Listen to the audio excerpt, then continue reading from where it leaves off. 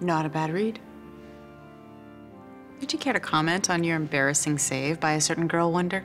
Bless my soul, it's Lois Lane. If you want a quote, you'll have to get in line. You can save your holier-than-thou made-for-TV platitudes and drown them in some holy water, mister.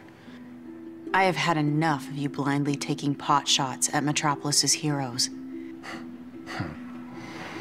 You call yourself a journalist, but you're just a blind follower of these vigilantes. One of these so-called vigilantes just saved your skin. She risked people's lives in a ploy to undermine the message of my book.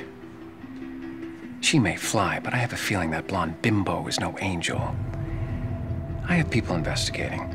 They're going to find something on her and the other superpowered mutants. Hmm.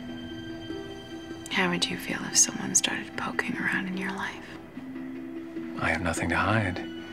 But I do know one vigilante who does. Green Arrow. A connection of mine who has toyed with him gave me evidence that the archer is really a certain depraved playboy. Your ex-boyfriend, I believe.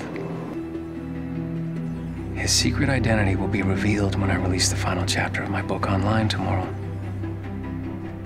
Even his true believer's faith will be shaken.